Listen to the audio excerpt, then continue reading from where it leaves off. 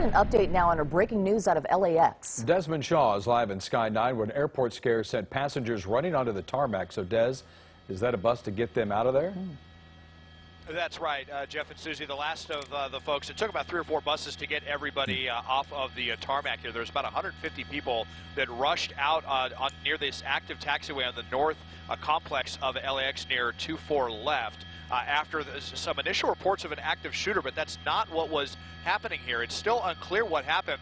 Let's show you some earlier video, though. Two people were injured in the rush to, in the in the whole panic.